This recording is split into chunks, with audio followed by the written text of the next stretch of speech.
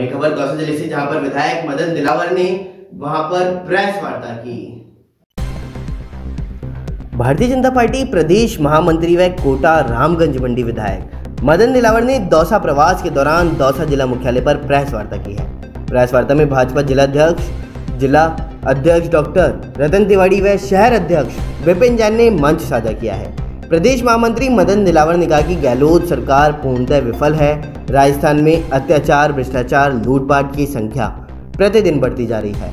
Are परीक्षा में परीक्षा के साक्षात्कार में शिक्षा मंत्री गोविंद सिंह डोटासरा ने अपने रिश्तेदारों को कथित रूप से अधिक अंक देकर के भ्रष्टाचार को और बढ़ावा दिया और यह धांधली आमजन से छुपी हुई नहीं है।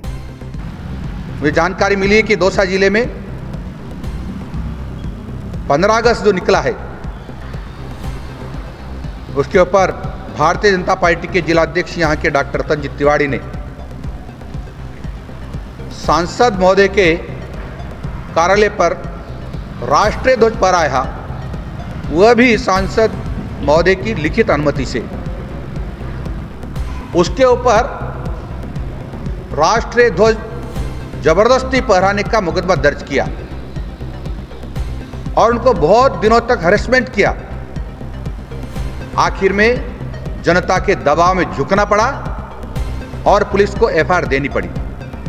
लेकिन इनकी नीयत क्या है? इस प्रकार से लोगों को डराने और धमकाने की तिरंगा रैली निकाली जाती है तो आयोजकों के ऊपर मुकदमा दर्ज किया जाता है।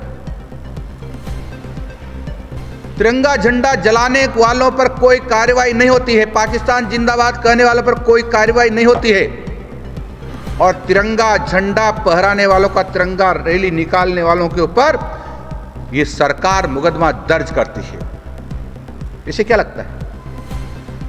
मुझे यह लगता है कि भारत के प्रधानमंत्री, तत्कालीन प्रधानमंत्री श्रीमान मनमोहन सिंह जी ने एक अपना वक्तव्य दिया था कि देश के आर्थिक संसाधनों पर पहला हक मुसलमानों का है।